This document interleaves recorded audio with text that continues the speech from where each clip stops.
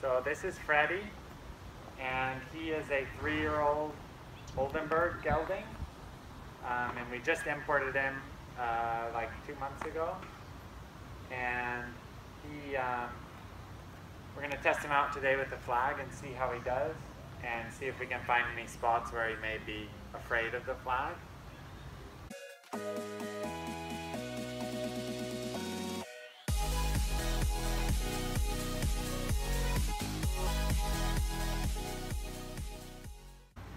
This flag is nice because I can kind of roll it up and make it smaller and then unroll it and make it bigger. And it's important with this that I don't overexpose him. So I don't just want to go use the flag and make it really big and make him scared of it and then say get over it. I want to control it so that I can support him to get better about it. So I start with it smaller, trying to support him to stay. And if they're really scared, you can see he's already pretty good about it. I did a little bit already. So if they're really scared, I'll roll it up smaller and just start touching them where they get okay with it. And then eventually I'll roll it out bigger and bigger and bigger until he can get used to it coming bigger Good, and going over top of them. Then the next thing to check out is, okay, you can say here, he's really good about the flag. Like I'm, I'm using it, he's not afraid of it. But the next thing to check out that's really important is to move him a little bit.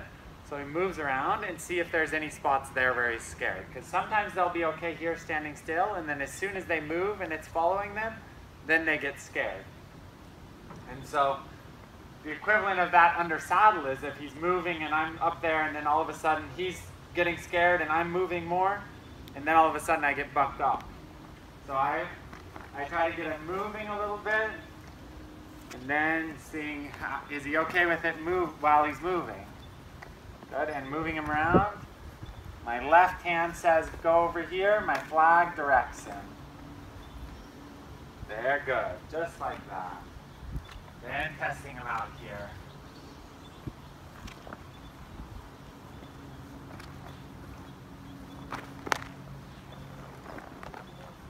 Good, moving around. Good boy. Good boy. And then letting him find a spot to get stop. That's good.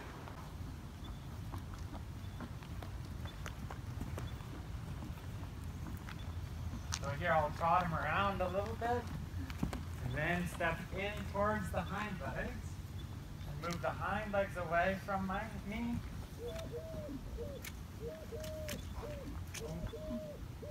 There, just like that. So the inside hind leg steps under his body and he bends and yields to the contact.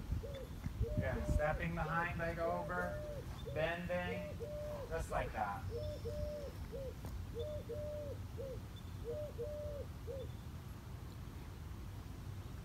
Test it out, shaking it. There, and if he moves off, I, I might move it like that and then see if he moves off, I'll be okay with it. I don't want him to pull against me, so he comes against my aids. But I also don't want to discourage him too much from moving there. I want to say it's okay if you need to yield over, but eventually he'll come back to me and he'll stop again. Just testing him out. Say, are you scared? And then being supportive if he is scared of helping him find a spot to get stopped.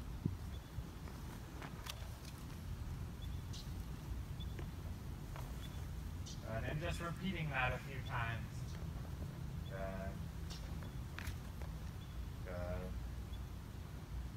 Here's another tip.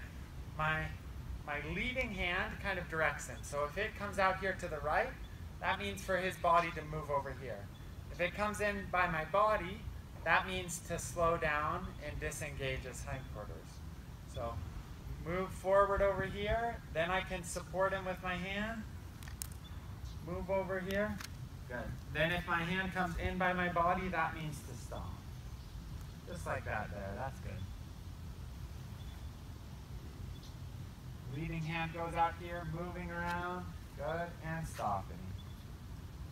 So then, this is called my leading hand, and the flag is my supporting hand. So leading him around over here again, good, and then stopping.